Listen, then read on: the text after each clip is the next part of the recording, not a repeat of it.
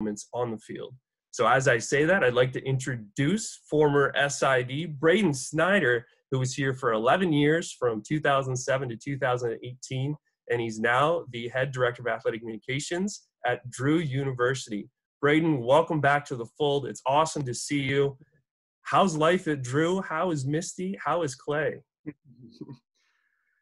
Hey Corey, hey everybody. Hey, thanks, thanks a lot for having me and uh, thinking uh, enough of me to, to welcome me back. Uh, it's uh, it's been good. You know, we're here in Madison, New Jersey for uh, coming up on two years now, um, and uh, you know, obviously it's a it's a, a spring like uh, like no other. It's um, you know, of course, our our hearts go out to the spring student athletes who had their seasons cut short.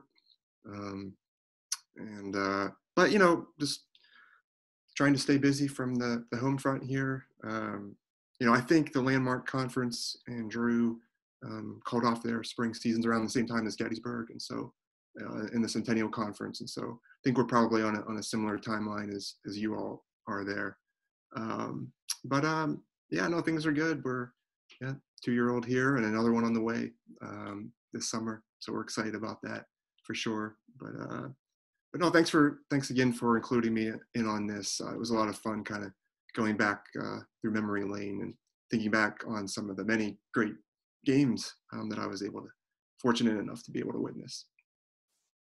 Yeah, I tried to do the fast math in my head to how many games we may have seen in our 11 years together, and uh, I think we're probably looking at probably 2,000 over 2,000 games that we covered and then at least half of that that we saw in person. And of course, all those wonderful neutral site games from NCAA's and Centennial conferences as well.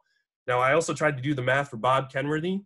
Uh, that's impossible because he was here in Gettysburg as a teenager. He came to Gettysburg, to Adams County, as a teenager in the 1940s, got real close with the Brain family, and actually came to many games football, baseball, you name it, basketball, uh, basketball games in Plank Gym, football games at Memorial Field and the baseball field, I believe, was in the middle of campus at the time.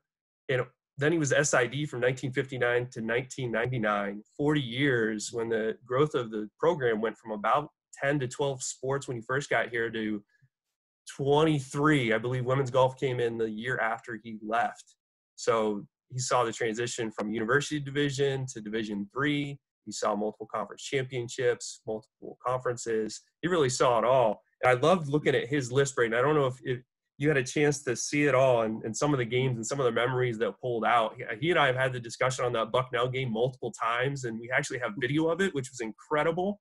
Um, and just to watch the Bullets and Bison kind of battle on the front line in a completely different type of football is so awesome. And the way he tells the story, because he was an impressionable teenager, was is just wonderful. I, have had the first person story, not just the written story. What kind of stood out to you about Bob Kenworthy, Kenworthy's recollections from 50 yeah, they were some years ago. Yeah, yeah, it was great and, and amazing, you know, to to be able to recall these events from from you know really a bygone era. It's uh, so interesting, you know.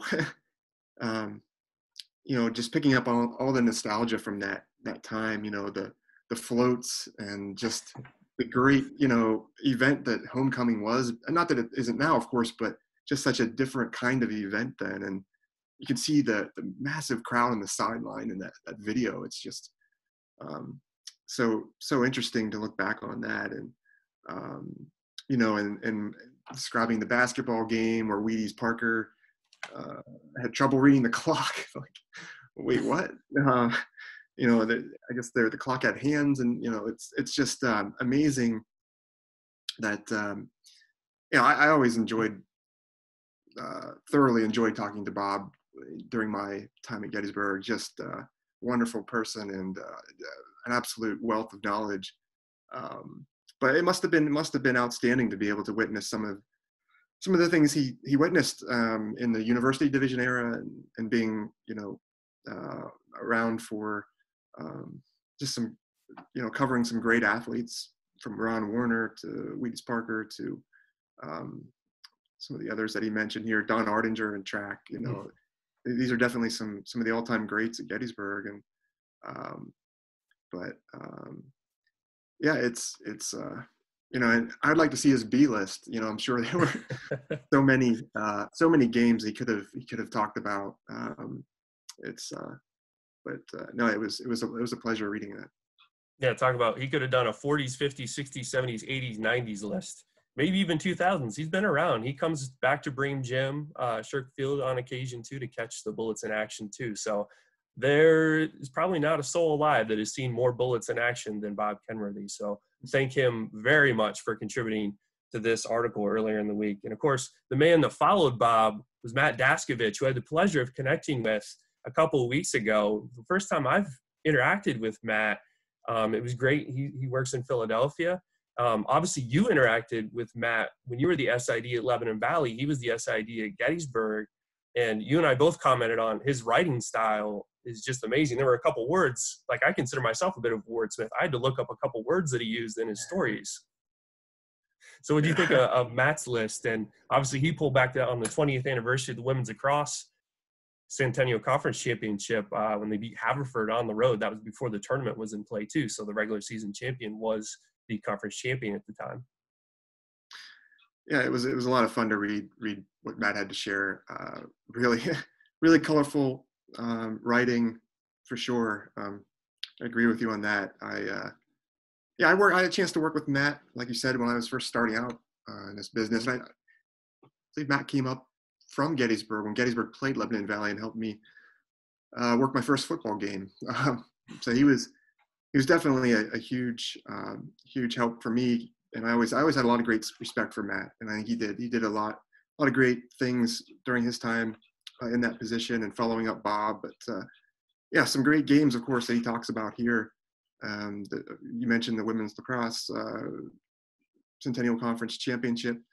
Um, kind of helped get um, get it all started there in terms of um, their run in the Centennial Conference. Um, yeah, th- some games here. I, I, I don't think I had ever heard of the the men's lacrosse game where they beat Middlebury in the muck of the practice field. I don't I don't know that I was.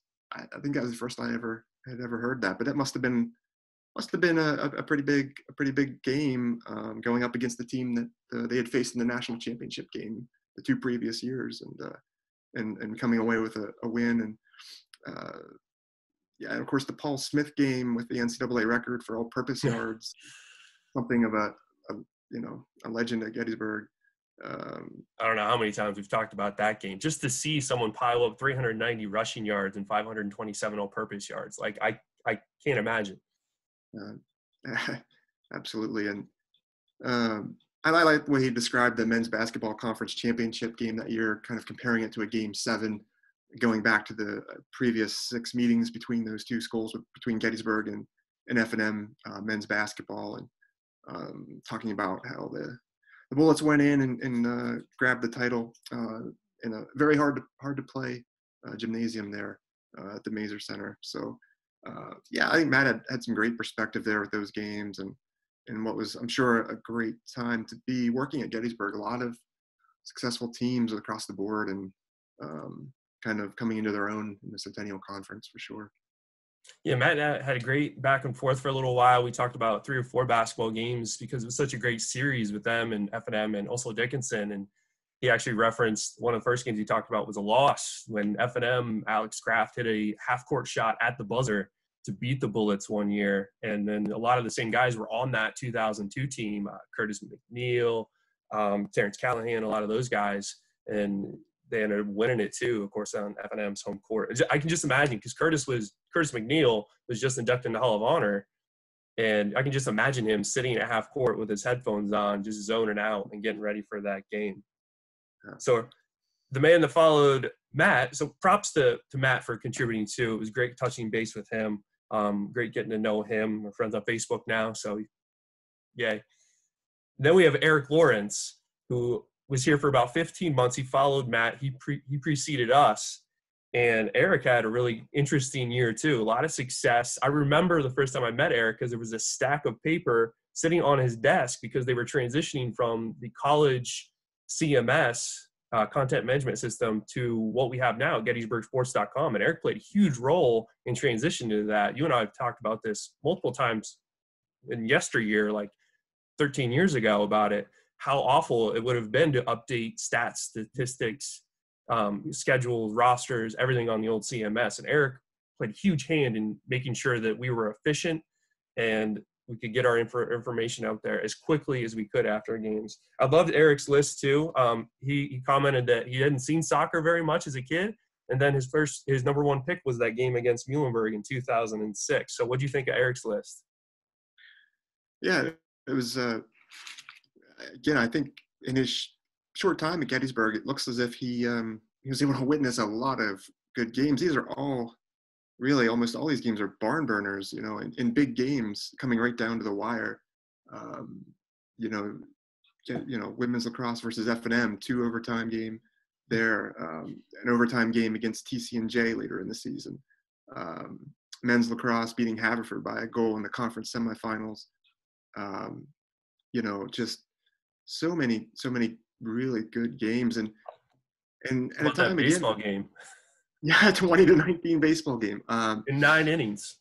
Yeah, um, absolutely. Not something you see every day, um, but yeah, I, I, I enjoyed uh, that snapshot of Eric's Eric's tenure at Gettysburg. That was, and not, yeah, like you said, Eric, I think played a pivotal role in, you know, what uh, the office was was able to do in the years years after um, he he left, and uh, certainly getting us on uh, getting Gettysburg on sidearm was a, a, a key a key moment. So props to yeah. Eric. of course, Eric's been the director of development at his high school alma mater, DeLone Catholic, which is not all that far away too. So seen Eric a couple times through the years. So again, thank you to Eric Lawrence. And now for the bread and butter. Obviously, Braden, we want to talk about your selections and some of your favorite moments. We've got a couple we're going to hold off because we have a special guest that's going to tune in here in a little bit. So we want to just want to start things off with the men's lacrosse game against Ursinus. That 2015 championship, that 2015 team was just unbelievable. So fun to watch out there. Why was that one of your favorite memories?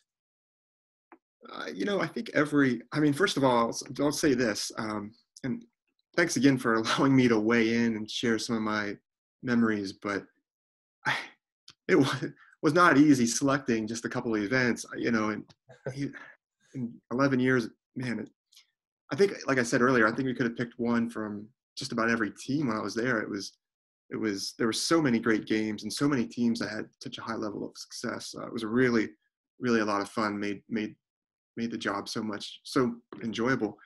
Um, and the, but with the men's lacrosse game in particular, that season there was something about the games that I chose. Something stood out about those games. There, we, there were lots of great games. There were lots of close games, um, but this one, I think it was such a dramatic turnaround that year.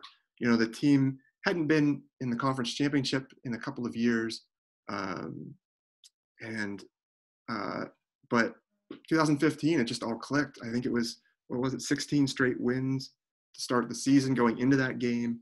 Um, you know, uh, yeah, we got some highlights here too for you. Yeah.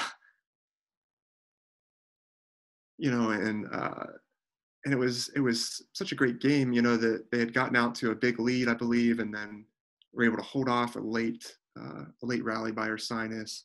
Um, you know, and Coach Janczyk shared, I think he shared uh, even before the season, this, the senior class had spoken before the, I think during the fall, and uh, had talked about this vision that they had of, of winning the, the Centennial Conference title uh, in in Musselman Stadium on a sunny day, um, which would have required them most likely going undefeated in conference play to get there which they did. Um, and so their their vision came came true. Name in the biz, Bijan Fierzan. Yeah. Oh, yeah, Bijan and Matt, Maddox were just such a great duo. Uh, Tim Brady, course, was the goalie uh, as a freshman, came on and made such a huge difference on what that team was able to accomplish. So, um, but yeah, it was again to go from I think they had been nine and seven back to back years to um, eventually going 20 and one and coming ever so close to getting to the national championship game. It was just, uh, I mean, there were so many games, even just that year, that you could have looked at. The next week, they played Ursinus again uh, in the NCAA tournament, and it was another great game. Actually, went into I think two overtimes. Um, but yeah, it was it was definitely a, a memorable moment, and um, you know, just uh, you know, one of many great great games, um, uh, men's lacrosse games I was able to witness in Gettysburg. Yeah, of course, there were great games against Salisbury too. There's been some barn burners uh, the last two springs against WNL. So always fun to go out there and watch the men's lacrosse team. Great alumni base too. I mean, they come back and they're always so easy to talk to, and um, you know they could pop up in the press box and say hi too. So moving on, obviously you've got two games from men's basketball, and I actually have the one game uh, from the 2008 national tournament, that second round game. You know, I remember that first game, Powers, Andrew Powers, and then Dan Katkin combined for 62 points and we beat Salem State in a really high scoring game. And then that second game was just insane. Like it was crazy what was going on in that game. Why was that one of your top top picks? Well, I think that one was uh, was more just sheer drama. I mean, how often do you see, you know, somebody single handedly take over a game in the last thirty seconds like uh, Corey Dorsey did? You know, it was, you know, it was pretty epic um, and just something you don't forget you know um, and doing it at such a crucial moment you know with the uh, berth in the sweet 16 hanging in the balance and doing it in front of a spirited crowd you know that game was played during spring break but yet there were you know a decent number of, of fans managed to come out and um, uh, and then to have to hit a you know for him to hit three three pointers in 30 seconds and then uh, have Elms hit a half court buzzer beater, um, which momentarily seemed to to you know squash, um, quiet the crowd. But um, of course, it was waved off because it came after the buzzer. But uh, yeah, it was it was really uh, just something you don't see very often, um, for sure. And it was definitely an exciting moment. It was a tough game, like you said, coming off uh, that up tempo win over Salem State the night before. I think they scored 94 points, and then have to have to come back, you know, on such short rest after such a, a draining game. Probably coming off an emotional high as well of winning their first NCAA playoff game. But, but uh, yeah, Corey Dorsey came out. Sorry. What's that? Go ahead. Yeah, no, it, it was uh, Corey Dorsey to the rescue, and um, but you know, again, so many men's basketball games that I can remember when I was there that would have been worth mentioning. You know, their conference championship the next season at F and M was was really a great game with, um, you know, where Dan Kapkin kind of went off and hit it was six three pointers and um, really kind of um, capped off a, late season turnaround. They had been had dropped I think to third or fourth in the conference, um, but beat the top two teams in the la- their last two regular season games to uh, uh, finish, I believe, third and get out of the playing game, and then um, to go down again into to go into the Mayser Center um, and uh, beat the Diplomats on their home floor for the conference title was certainly never any never a small task, but they were able to do it. Yeah, it was a great team. Uh, there was an alumni chat the other day that I was a part of, and Chris Navolo was on there, so we were reminiscing about that, as well as your number one moment. Now, unfortunately, we tried to get our guy Corey Weisman to join us today for a chat. He's working though, so glad he's still staying busy. Glad he's still able to to get out there. He's a physical therapist in Jersey, so hopefully we can do a thousand to one reunion at some point this summer. Working out the details on that with Corey, but in his stead, we'll try to break down that that moment from our perspective. Um, I was actually on paternity leave, so I literally was the only person that wasn't in that gym but you were there. It was senior day. Just describe that moment for those that don't know. Corey Weisman, freshman, suffered a stroke, hadn't been able to play basketball at all. I mean, he, he was partially paralyzed for a long time, and he worked his way back.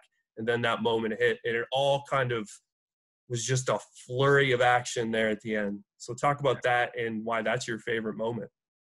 Well, I think that game and, and the things that transpired that day were just so different than anything any of us who were there or have heard about this have ever witnessed. Um, and uh, you know, it was it was just it was a moment that just transcended sports. You know, it was knowing what Corey had been through um, for the previous three years.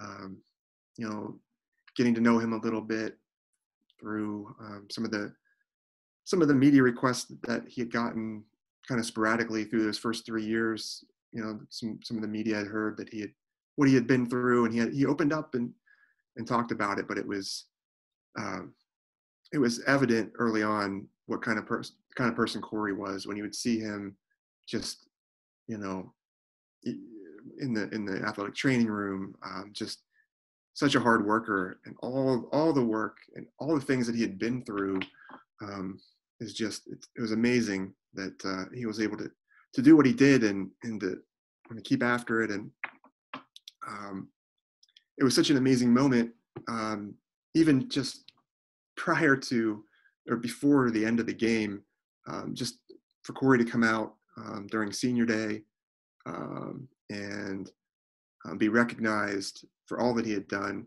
along with the two other seniors, Tim Lang and Brendan Trelease, was was an amazing amazing moment in of itself that uh, you know brought the crowd to its feet and um, and then to get into the starting lineup, um, which is brings you know kind of brings you to another angle, which is uh, the sportsmanship angle, which was was amazing that you had a, a coach and a team that were uh, played such an active role in everything that happened that day.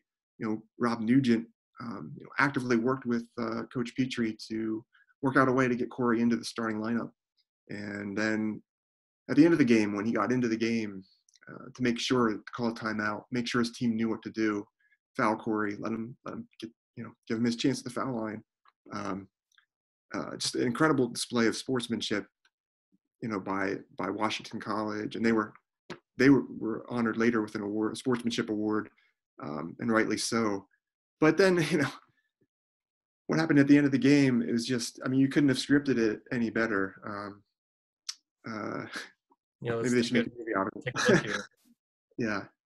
Um, Obviously, this is 2011, uh, 12, 2012. So the video footage is not the best. We hadn't moved into the HD realm quite yet. But you can see Corey at the line there. I don't know who was more. I, I bet if you asked Corey, he would say he wasn't nervous at all.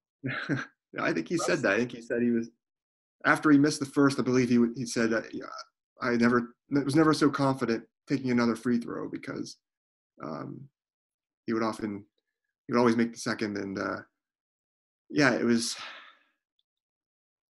swish. Just a great, yeah, just a great moment. His first and only college point um, after being a thousand point scorer in high school and thus the title of the movie 1000 to 1 um, but you know and then everything that happened after that you know the word got out quickly um, d3hoops.com helped us. Pat coleman I believe retweeted the the story the game story. And i i'm positive that that helped um, get the word out to some of the national media because that monday we were getting calls from yahoo sports was one of the first to call maybe the baltimore sun. Uh, and then Joe Lynch pitched in and uh, contacted uh, his former friend uh, who was working at ESPN, Greg Garber, who he knew from his Joe knew from his tennis days, and Greg was able to work out uh, with ESPN a story. They were going to do a story on uh, College Game Day about Corey and his moment there on Senior Day and everything that he went through, and it was just amazing. and the way Corey held up through it all was was amazing. Um, never never once turned down an interview request um, you know and had to you know go back and, and relive some some dark moments in his life you know many times but um, know, I think he he impacted so many people that day and and in the subsequent interviews and um, and then of course later his movie um, you know I think he I think Corey still is impacting people to this day I know he's he's been big on the public speaking um, circuit. So uh, I can't say enough about Corey Weisman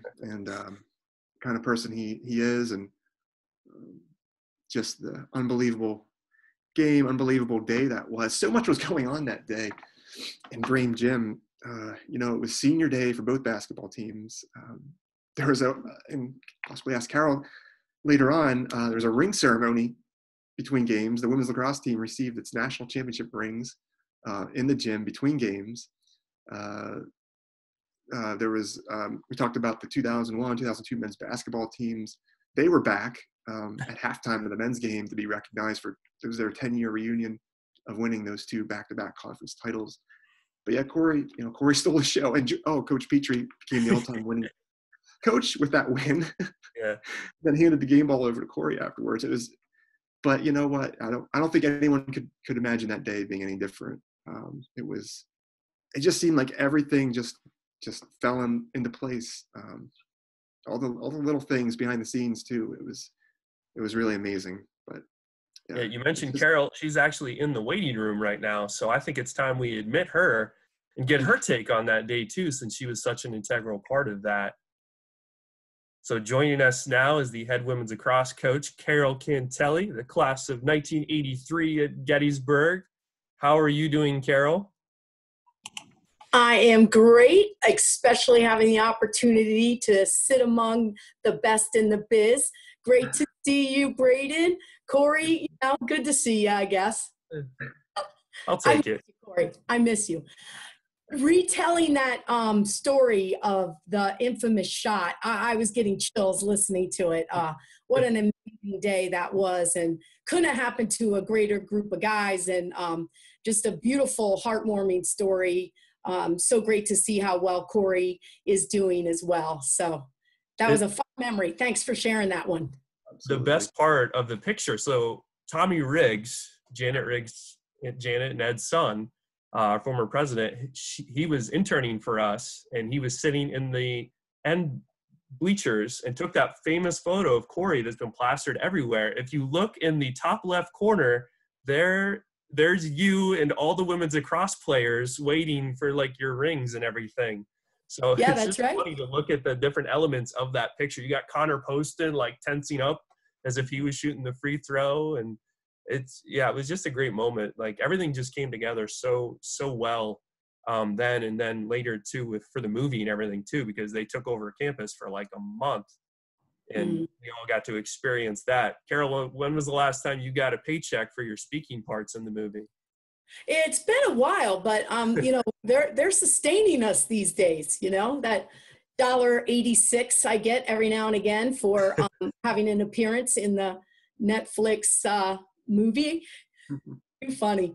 yeah, of course, several staff members were in the movie. Uh, we mentioned Joe Lynch earlier; he was in it. Jana Riggs was in it. Cindy Wright was in it you were in it. I got Chris Navolo and I got to sit beside Beau Bridges. Beau Bridges was the head coach, George Petrie, through the movie. So yeah, it was quite the experience. One of my memorable moments as well. But for the sake of this, I let Braden have that, have all the thunder there. Oh, so Carol, I wanted, I wanted to bring you in now, obviously, to talk about the Corey Weisman thing because you were such, you were involved there, you were there, you were in the movie, and then also Braden had two game two games on his list. We just finished up with some of the other ones, but Braden had the 2011 national championship and the 2017 national championship. And I was going to turn it to Braden to see why he put those particular games on his list too. So Braden, you're you're back on, and then we'll hear from Carol what she thinks of your memories of those games. Well, I mean, you never forget a, a national championship game. Uh, you know, uh, I consider myself lucky that I was able to witness three of them when I was when I was at Gettysburg. Um, these two games, of course, and uh, the men's lacrosse team played uh, in the national championship game in 2009 um, in Foxborough. In Foxborough, yeah, it was an outstanding uh, memory going up there with the team for a, a week or so, and gave Cortland a, a great game. But um, but yeah, you know, to witness, uh, you know, the first national team, national NCAA national championship, I should say. Of course, Carol was on that field hockey team that won the first national title of any kind back in 1980. But the first NCAA team title um, was, you, know, you always remember the first time, you know, uh, first conference title, first national title stand out so well. But it was just such a, uh, it was so surprising, I think, to see um, team put on such a clinic that day. Maybe not to you, Carol. You drew up a great game plan, but uh, you know you don't often see a team, uh, uh, you know, initiate the the mercy roll and you know the first half of a national championship game. Uh, it was just a flurry of you know Hannah Church, Kelsey Markowitz goals, and uh, it was it was uh, really fun to watch. And um, you know, obviously, it was a great moment for Gettysburg College and Gettysburg athletics and uh, everything that the, the, women's lacrosse team had been accomplishing, kind of just coming to a you know coming to a head that day. Of course, I'll have a little more to say on that game too, for personal reasons, but I'll save that. so, Braden, you, you also had the 2017 national championship game on there as well, six to five victory over TCNJ at Roanoke College. Um, what stood out to you about that game? Well, that one was, I think, stood out for maybe the opposite reason. It was, uh, it was a, great barn burner down to the wire. Literally, was not uh, game was not decided until you know the final whistle. As there was that scramble in front of our goal. Um, but uh, yeah, the thing I had mentioned in the story, just that that image forever uh, that I'll remember is Steph Colson taking the ball and just going end to end and uh, burying that that big big time game winning shot in a national championship game. It was, and you know, obviously TCNJ, you know, has a tremendous women's lacrosse, um, you know, uh, legacy there, and uh, um, to to go and beat them in the, in the national championship game was an amazing, amazing, amazing accomplishment. And uh, um, you know, remember the, the, the team went up early at halftime, what four to one I think at halftime, and you kind of knew, or maybe you kind of felt there's probably a, a, run, coming here from TCNJ, and of course they did uh, rally. Um, but uh, yeah, that was a great team, you know, to, to hold TCNJ to, uh, you know, kind of stymie them defensively was was uh, just a testament to the defense of that team. You know, Shannon Keeler and, and the rest of the defense uh, was just such a pleasure to watch uh, down the stretch that year. And um, I, I, was lucky enough to be able to do some commentary um, for some of the, the preceding games and, and, the win over Salisbury to get to the Final Four, uh, where I think Salisbury was held to two goals. Um, just a tremendous, uh, just a tremendous team um, to watch that season and to to uh, see it end in a national title was again something you you don't forget. Yeah, definitely. I hope hope you saw the uh, footage there. Was sharing with everyone's screens. It a nice little video we did after the season too. So a lot of great moments from that.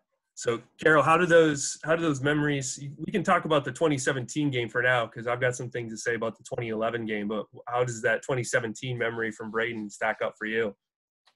Ah, uh, you know, uh, it, it, was a dream come true for those girls. And um, it was an incredible contest um, and you know as a coach you, you really don't look back at the whole game. You look at the moments that lead to that last game. And so it was just a season's worth of uh, fantastic accomplishments for individuals um, great winning moment games. Uh, the game leading up to getting us into the Final Four with Salisbury was one that was just like, you know, this team's pretty good. I, I think that that game cemented the like we belong where we are going to be going. So it it was just um, one of those years uh, where everything seemed to align just right, but the effort by the individuals was just outstanding. Um, I think what I remember most from that game, however, though, is it was a very clean game. There, there, both teams went 100% in their transition game. Um, the back and forth nature of the game was just outstanding, and the defensive play by that group was like none I've ever seen. I mean, uh, ironically, I was working through some of my flop, uh, my um, hard drives, and I needed to use a hard drive, and I came upon um, one one of the hard drives that had the game on it. And you know, we've got a little bit of time here these days. So I actually recently watched, before you guys were even doing this, I watched that game. And I got to tell you, it, it brought me to tears. Um, not because we won, but to watch the chemistry of the team and the dynamics of the team. Oh, and you know, like Shannon Keeler had a great day in the cage, but she'll be the first to tell you it was the concert that the defensive unit of Mikes and Smith and Wagner and Colson and Holacek, um, uh, you know, all put together. Um, that was just really Nealon's, um, Ali Gorab. It, it, they were incredible. So that's that's one of my memories of that game. Just the way the defense and props to to Barb and Kate because um, they oversaw that unit. Yeah, my memory of the 2017 national championship game because I was on the sideline doing some filming and stuff is Caitlin Nealon's getting bumped out of yeah. out of bounds near me, like within five feet of me, jumping up, fixing her goggles, and then just darting after this girl on the clear transition and catching up with her. Um, she had a little help defensively. Someone pulled off and forced the the attacker back a little bit, but I mean, just that grit and determination out of that 2017 and that's a good transition for me because I have obviously I have some lacrosse on mine because I've been there for all three national titles. So that 2017 team, I had a hard time separating that from 2018 because it was a lot of the same cast of characters. Of course, the previous season, you know, you have Nealons and um, Caroline Jaeger and some others there too. but the 2018 team is like, yeah, Cassie. The 2018 team too is just kind of fit that same mold. But the thing that stood out about 2018 is the fact that it was postponed. Mm-hmm. We had mm-hmm. crazy storms coming through the valley that forced a postponement of the national title game. We had to move it from Sunday to Monday. And it was everybody just kind of stuck with it and powered through. Um, and we we pulled it out. I mean, we we got ahead of Middlebury there at the end of the first half, put in some goals. Some some girl named Liza Barr threw in a couple goals and you know we we pulled it off. Courtney Patterson. I mean, they were all right there, and it was just another great win to be a part of. Another great national championship in 2018. Absolutely. Yeah, those are, and you know, we we came to. I think another reason why it's difficult, and they kind of piece together, is they were both in the same venue. And uh, when people people ask our team, or certainly when people have asked me, "What's your favorite place?" I'm like, "Oh, Roanoke, Virginia. It must must visit, um, it, and it's just both both of those memories were by far some of the most favorite that uh, we've had, and um, it's a special special place to the Women's Lacrosse program, um, as is Adelphi University. Yeah, I remember the lacrosse, both Middlebury and Gettysburg having like a little cheering, singing contest in the stairwell of the Cregger Center leading down to the field before one of the last times we went out to the field on the day it was postponed. right, good. a little behind the scenes, you know.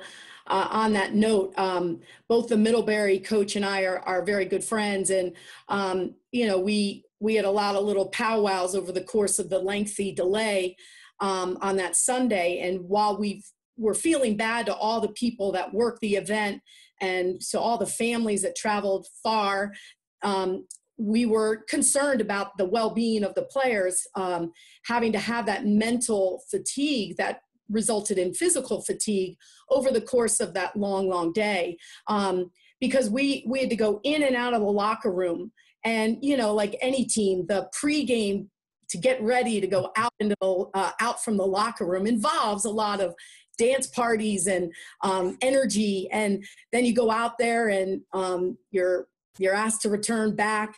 So, you know, we were mentally fatigued. I remember talking to, to Kate from Middlebury and saying, like, I don't think I'm going to be very efficient out there if we get out there. Um, I'm fatigued, and I can only imagine the kids. And she felt the same way. So we were very grateful that the NCAA committee decided to postpone for the following day so that we could put on the best pro- we could put out the best product um, and it was a great decision, and everyone was much um, more well rested for that day. Yeah, worked out really well. Worked out really well in our favor. Um, we won the game 11 to 9. So I'm going to swing to what was my top moment. And the reason why I invited you here was the 2011 national championship game. Like Braden was saying, you always kind of remember your first conference title, your first national championship. And this was my experience, first experience with that. Now, Braden talked about the on-field domination of the team with, you know, Becky Lutz and Maddie Coleman, uh, Lexi Kelly, Laura McIntyre. I mean, I could name almost everybody on that team from the senior to the freshman, but for me, it was everything that happened away from the field. Um, the game was awesome. We dominated the game. the NCAA officials, the commentators were blown away. They had no idea what was going on. Um, props to Bowdoin. I mean, they knocked off a extremely talented TCNJ team, but our girls were just ready to go on that game. But it was really interesting the lead up to that, and for me, that's what it all was, just through the whole season. Because you know, in typical fashion, preseason, you say that we're not going to be a contender, which actually I may have agreed with you that year, coming off some spectacular seasons and losing some spectacular players like Hollis Stahl, uh, Just Crane, um, you know, Nicole Datillo, and others from the, pre- the previous year. Yeah, we lost 10 starters. 10. Yeah, 10, 10 starters yeah. and four yeah. All Americans from that team, uh, like 500 point scores as well. Mm-hmm. So, you know, I had a conversation with you, and it was like, okay, what are we going to do this year? And then we had some close, gritty losses: Hamilton, TCNJ, F and M twice, unfortunately. But then nationals rolled around, and something just clicked. And you know, we mowed through Adrian. Claremont Mudd Scripps was a little closer than I thought it'd be, but we still got by then. And then it was Salisbury, who had played one of the best games I've ever seen them play the previous semifinals to beat us on their way to a national title. And we, I vividly remember Kelly Speaker bouncing a ball past their goalie and the SIDs wondering what goal number of the season that was, and me saying it was three because she literally bounced three balls in the goal in the entire year. So we won that um, at Salisbury, and then we went to Adelphi. And that was my first experience with New York City, um, Long Island, national, you know, the, the national championship game, playing in the national championship game because we had hosted the prior year. And just the experience and talking to the young women on the bus, they were asking about my proposal to my wife. Um, my wife was pregnant at the time, so we were talking about that. I remember talking to Katie Blumenthal and Kendall Akey and Kelsey Markowitz in the front of the bus about it all and going through that whole situation. And then, you know, you had the the um, community service at the elementary school, which was mm-hmm. fantastic mm-hmm. to see the interactions there. We had the picnic at the beach where the bus almost hit a bridge that was too low for the bus.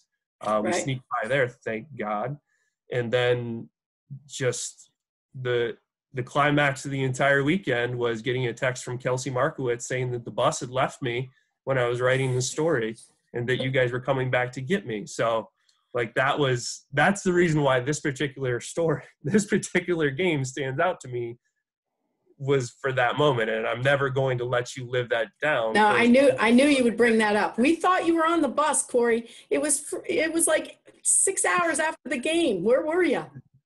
you know, I'd interviewed all of your star players and was texting back back and forth with Braden and Paul Redford and Joe Lynch to set everything up for the post arrival at the Jaeger Center and everything there. But at least I made it back, and then I got to see the police escort into town and the whole celebration there that followed too. So that's why that game sticks out to me. Not even because of the domination on the field, but everything that followed along with it. All those small particles of time that all built upon each other to create this huge magical moment. Absolutely. Absolutely. And and I would agree. I think um it is the buildup of even years prior. Uh, you know, that 2011 team, while we all maybe thought that they were a young group, they had incredible mentors, and the program was really getting um, some already had had some established some really deep roots and so the tradition was established from you know it's way back from the 2000 team and the two 2006 team that made it to the final four uh, so the players were just trying to um, rise to the standards that had been previously set by some incredible programs um, prior to that um, I also think there's um, two kind of interesting stories uh, as a result of um, that final game.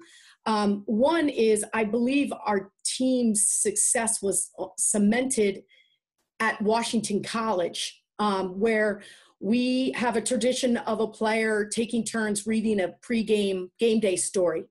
And um, on that day of playing Washington College, which was in early April, mid April, Becky Lutz had the game day story, and she shared a story about her, what her father used to say to her. And he'd always say, um, Do you have the C? And you know, she never really quite understood what he meant. What is a C? And so she talked about that in the game day story. And she talked about it for her being courage and confidence. And so she empowered our team before the Washington College game about showing up with courage, showing up with confidence. And that became kind of like, do you have the C today? Do you have the C today?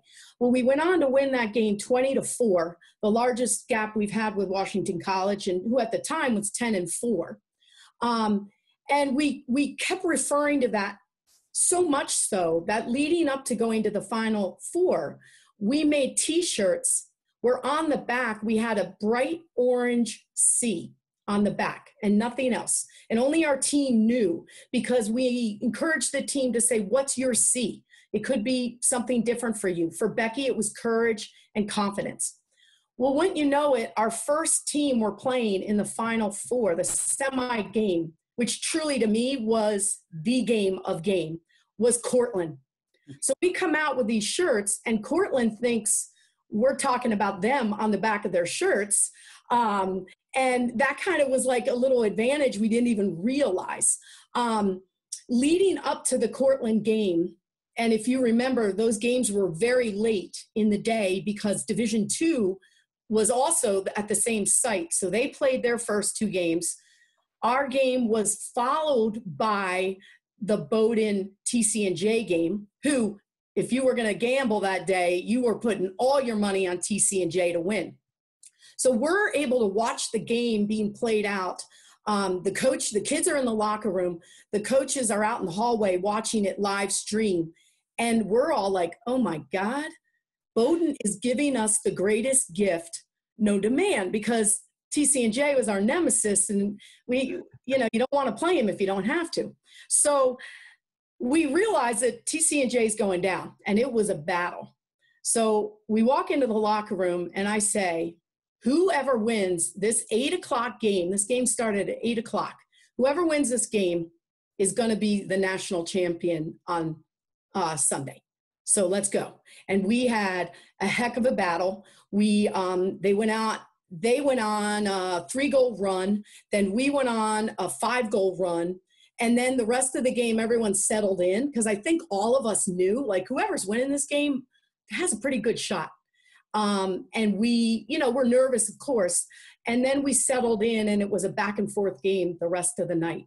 Um, and I think the C rattled Cortland, but the C motivated Gettysburg. Um, and we we ended up winning that game. Um, and the the other second crazy story that takes us into the um, Sunday game is I don't know if you remember this, Corey, but we had no hotel. Oh. Um, the NCAA did that weekend was they only reserved the um, hotel for the advancing team. And so everyone had to leave the hotel. Well, we were going to spend the night regardless. So I gave up the um, gamble of whether we were going to stay that night or have to drive home to Gettysburg if we didn't win. We wanted to spend the night and have the whole experience. Well, wouldn't you know it, in um, Garden City area, there was graduations. The men were hosting um, a semi game in in men's lacrosse in Division One. Um, we were in the same ho- uh, hotel with uh, the Virginia men's team, so we were laughing about the orange and blue with the Virginia guys. So we ended up um, deciding to like gamble and try to find a hotel thanks to the great work of Susan Fumagalli um, as our assistant athletic director, she found us this awesome hotel, but it was in Long Island traffic. It ended up being an hour away. So if you recall, that game started at eight. We didn't get out of Adelphi until close to 11. We didn't get to that hotel until like 1230 and it was rocking. There was all kinds of um, events going on. Um, and the coaches didn't really do much of a scout report for Bowdoin because we were confident that TCNJ was going to win, which was a bad move on our part. But I have to say, we stayed in the most swankiest hotel. It was awesome. All the kids had their own robes. We had this brunch the next morning that was like unbelievable. I mean, it was a really high end hotel. Um, and we woke up with the C. We woke up saying, We're winning this game. So uh, honestly, the day was fantastic the next day because every one of us just were like, Hey, we've already won it in our minds because we were uh, together and we just got to um, you know, it was great that we had such a goal differential because we could really have fun while we were playing and, and kind of really let our hair down a little bit.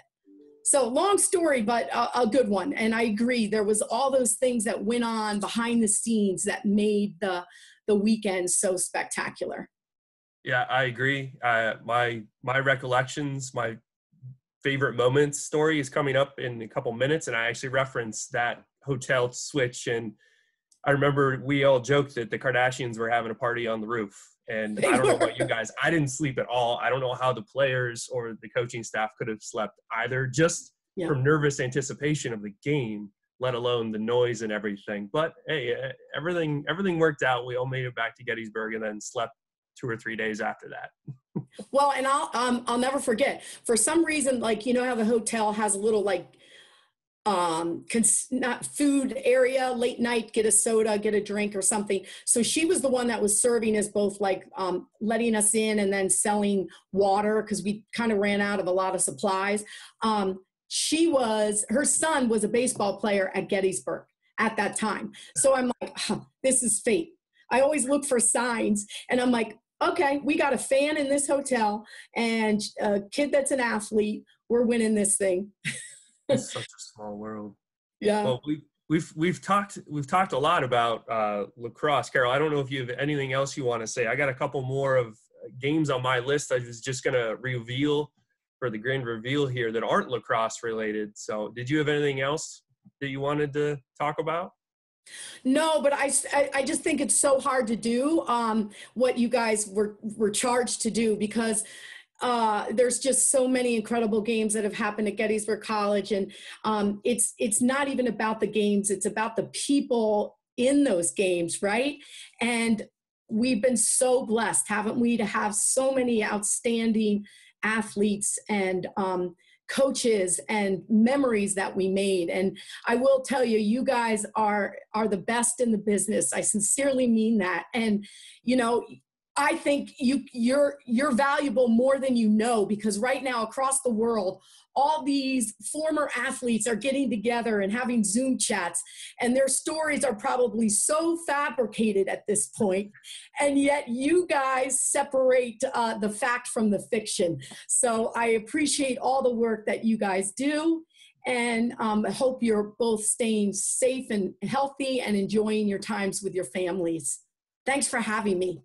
Well, thank you for joining us, Carol. We, we definitely appreciate it. I just have a, a, couple more games. Carol, you're welcome to, to stay on, but I know you got a busy recruiting schedule and everything too. Zoom chats all afternoon with prospective players as well as former players and current players too. So um, you're welcome to, to duck out now if you want. I will. Thank you. Take care, you guys. Take care, Carol. Bye. Carol.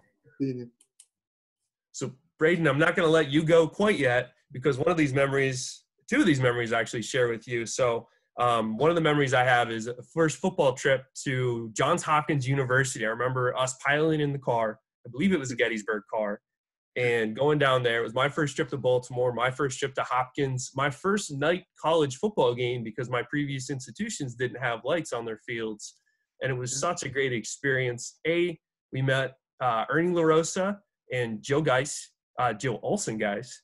Um, who was great. I mean, they're great colleagues to this day at Johns Hopkins. They run the athletic communications team down there. They're two of my favorite people in our profession, and I'm sure you would agree to that as as well. As well as Jill's husband Scott, the splendid Spartan. We'll give him a shout out too. And then the game itself. I mean, that season was really good because you had Tom Sturgis, you had Matt Flynn on the offense. Um, so many different parts to it. I was going through the the old box score the other day. We dominated defensively. Harold Barton, Josh Gerald, were just machines defensively. The offensive line dominated. James Russell anchoring on that left side, Lou Mastrini, and they just put it together. I remember vividly, Sturgis always did what Sturgis does, rushing for 125, 150 yards. I remember Flynn breaking out for that 50 yard dash to the end zone along the right side, I think, and just scoring that touchdown and it was the first time we beat Hopkins in 13 years. Uh, I don't know when first time it first win at Homewood in years two, and then you know Hopkins the year after. That's when they started their domination of the Centennial Conference too. So that game just from a personal standpoint kind of stood out stood out for me. I don't know if you remember that game at all or not. Yeah, I remember that game. It was it's interesting you mentioned it first night football game you had seen it might have been the same for me. I Lebanon Valley never that was my first year at Gettysburg as well as yours and Lebanon Valley didn't have lights and I don't think any of their opponents did. Um, so there was that certainly that aspect of it. But yeah, that that game was uh, I think certainly um, you know a great example of what uh, that some of those offenses could do, led by Matt Flynn and and Tom Sturgis and and many others. Uh, you know, I think I believe they, there were two 100 yard rushers that game. Right? Was it Sturgis and Matt both rushed for 100 yards?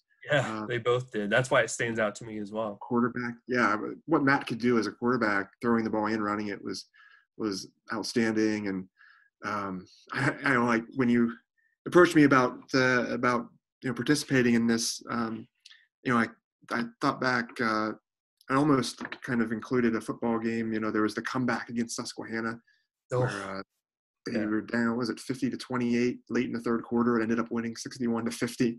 And it was just there was that that offense was just incredible. That was um, actually a Kyle Whitmore led team, but certainly that game that game stands out. You know, and um, it was it was just a, a real pleasure to be able to cover what uh, what the football team was able to do. Um, yeah, under that sure. spread wing offense. Yeah. And football only having 10 games a year, they have a little bit of an advantage in a situation like this because we haven't seen as many games as, say, a basketball season that's 20 some games long. Uh, I know Ke- Bob Kenworthy referenced some games from 85. He talked about the playoffs in 85, games against Lycoming and Salisbury, and then the ice ice rink against Ithaca. And then, you know, I also have the the hundredth game against F and M, which was awesome because we that was the first time we gave out the Lincoln Trophy and we won that game 28-14. And then I remember Jamal Matunga's 80 some yard touchdown run in a driving rain against F&M too. That just image is plastered in my head of him busting through the middle of that line because we couldn't see anything and he goes off and runs that runs that touchdown in. Um, I believe it was 2008, so the year after this particular Hopkins game. So a lot of great moments on the football field for sure. A lot of great moments in women's basketball too. Uh, since we arrived they've been to nationals five times. Um, that Sweet 16 team holds a lot of great memories for me with Caitlin Moser and Ali Drexler, Courtney Fields, Mary Spicer. But then the 2013 team stood out to me because of the three games against Swarthmore. And I'm sure you remember this. Katie Lytle might be one of the most talented players in Centennial Conference history. Later served as an intern with the conference for a little while. And unfortunately, she ran into this Gettysburg team that just seemed destined for greatness. You had Caroline Murphy, Corey Youngins, Alyssa Eisler, Katie Early, Jess Porter, uh, Jenna Swope, Sam Pagel. Like I can go on and on, obviously. It was a great team. They had two games against SWAT where they split. Each team won on the road by a point. And then in the championship game, we just managed to pull it out by two points. SWAT missed the potential game tying shot and then a half court shot and then the crowd just remember just just rushed the field. I remember uh, Jeff, the the Weasel, coming down to hug Coach K, and Coach K getting his first Centennial Conference title um, ever in 2013. So that was a really great moment for me too. Yeah, absolutely. Yeah, I remember the. Unfortunately, I couldn't make it to the championship game that year, but uh, I remember the how much support uh, the men's basketball team provided with uh, Alex Zern leading all the cheers from up in the student section and really making it a, a great atmosphere. Um, I remember watching that game online because I couldn't I couldn't make it in, but uh, uh, yeah, certainly uh, some some great memories there with with that team, what they were able to do, and um, getting the women's team their first. That was legitimately the largest crowd, student crowd that I've seen in that gym up until the uh, the recent Centennial Conference Championship games against Haverford. The last couple seasons has been pretty packed, but that 2013 crowd was amazing. I mean, it was like the Duke fans with their arms raised, and every time a free throw would go down, they would just put their hands down. And yeah, props to the men's basketball players that year, particularly Alex, running up and down the uh, bleachers and getting everybody pumped up for it. So my final one comes from arguably our most successful conference sport, and that is swimming. Of course, when Mike Raleigh was head coach, we won 42 conference titles. We're up in that 50 range between the MAC and the Centennials. And this past year, uh, you missed out on this, but the women's team came back and won their conference title. So they hadn't won since 2013, uh, the Maggie Mulderig years.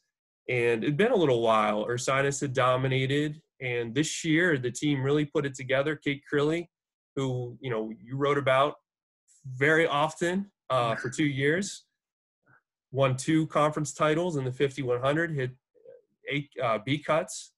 Um, these freshmen were awesome. Alyssa Clancy, Hannah Wasson, Talia Moss was rookie of the meet. Kate was swimmer of the meet. Uh, some sophomores, Katie Cooper was awesome in the breaststroke. Megan Warner, so many great performances. We ended up winning 11 events, and I'm sure we you got to go on the Wayback Machine to find a time we won 11 events at Centennial Conferences because it's such a talented pool of swimmers. Broke 11 school records. The 200 medley relay qualified for nationals, which unfortunately they weren't allowed to go participate um, but they were designated All Americans thanks to the Coaches Association. So Kate Crilly ended her career as an All American, and she was probably my favorite moment, just seeing her power her way to titles and two events where the most minimal minimal mistake means you could finish last. So she powered her way to it. So I know you kind of missed out on that this year, but it was such a great moment. I know you saw your share of great moments in the pool as well and you can't you can't beat the crowd in the Bullets pool. Between the athletes and coaches, Mike Raleigh was awesome to work with. Greg is great to work with now, Greg Brown, and then the parents who are so appreciative of everything we do. I don't. I mean, I love the other parents that we work with, but the women, the swimming parents, you know, we're right there with them. They they tap you on the shoulder, say great job. Um, shout out to Frankie Nieves in case he's watching. I mean, they they're just fantastic, the swimming parents. And I had such a good time the last two years working with them uh, directly since since you left. But you worked with swimming obviously for your first eleven years too. Yeah, yeah. It was it was uh, it was a great experience uh, being able to work um, work with and, and cover such a successful team, and like you said, just being in the presence of so many great people. It's it's a little bit of a different atmosphere there in the Bullets Pull with where we you know set up for your streaming video. You have parents all around and you can it's a little easier to converse um, with them. But uh, yeah it's certainly there's certainly been just so many great uh, great moments there with the swimming teams just in the last dozen years or so. And um, yeah it's again another another team that would have been great to to you know for me anyway to go a little more into depth on some of the great moments. It's funny you posted the photo of me there with uh, talking to Emily Yelmans, uh, who was on the women's swimming team, and that was I think that was from 2009 when they had just won on the last event, uh, where the 400 freestyle relay had won the clinch. It came down to the last event and they won it, uh, which was a great a great moment in of itself. And but yeah, it was um, yeah, it's just a, a, great program and certainly what Mike Raleigh did there was was tremendous. Um, coaching, you know, 30, 35 years, whatever, you know, just. Uh, yeah, and it's another one of those sports like men's lacrosse where you could go all day and pick stuff out. You go Matt Libby in 2010 or 11, and then you hit the Jason Potter, Ashton Lyons, Mike Harmon years. Like, how do you single out any one of those performances? They're all so amazing, and hopefully down the line we can give them all their due as well. And, and having the and yeah, absolutely, and and having that sort of facility was, is, you know, it's just such a, a, great thing because I remember um, uh, the first year that uh, that Gettysburg hosted the Centennial Conference Championships, and the and both teams swept, and I, I believe they swept the next year too. Mm-hmm. Um, uh, to be able to win a conference title in front of your home crowd, it's just a, it's amazing. Um, and it's, a, it's such a bonus um, to be able to have that sort of facility to to um, you know to be able to you know host that kind of an event. And um, especially when you're you know you're able to to win the title. Um, so yeah certainly but you know i'm sure this year was certainly certainly an exciting meet being the first one for the women's team in, in quite a few years. Yeah it was it was a lot of fun So, Braden, I know we ate up a lot of time today. Uh, it looks like we're almost around an hour of, of talk, and it doesn't really feel like that. But I just want to thank you for for you know working with me for 11 years and everything that you imparted to me, the knowledge and just being a good friend, good colleague. Thank you for contributing to this too. I hope it was a fun trip down memory lane for you, as it was for Eric, Matt, and Bob as well. So, wish you wish you the best, uh, you and, and Misty and Clay and baby to be. Uh, what's the due date? Uh, she's likely going to be um, probably delivering mid July or so, by the looks of it. Uh, but uh, yeah, it's it's uh, it's an exciting time for us and uh, uh, hard to believe. But uh, but thank thank you for those those kind words and um, yeah, it was certainly it was certainly a fun time. I can't believe how fast it went, um, but it was it was you know great a great experience to be able to work in such a great athletic department with, with such great staff and being around um, so many great student athletes and, and, and certainly sharing the time with you it was great you know you're a great coworker and uh, you know you're doing a, an outstanding job with everything now putting on these these zoom events and uh, and uh, just all that you've been doing here the last two years is you know, doing a tremendous job and i enjoy occasionally taking a peek and uh, seeing how things are going back at the battlefield. So um, anyway, uh, thanks thanks for having me and, and, and, letting me participate in this and go down back memory lane a little bit. But uh, um, stay safe. I hope um, you know the rest of this time of quarantine goes well. I hope you and the family are well and um, good luck uh, down the road. Thank you, Braden, and same to you. Give my regards to Misty and our former colleagues Daryl Keckler and Doug Sage, former assistant coaches. Always good to, to bring up in, them up in conversation. Uh, we'll see if we can do this again sometime. It was fun. We'll see if we can break it down with some other teams too. Try to get some other coaches on here to really break down and get to some of the uh, events that we saw that we weren't able to mention today too. So for Braden Snyder, for Carol Cantele, I'm Corey Jewart signing off. Go Bullets.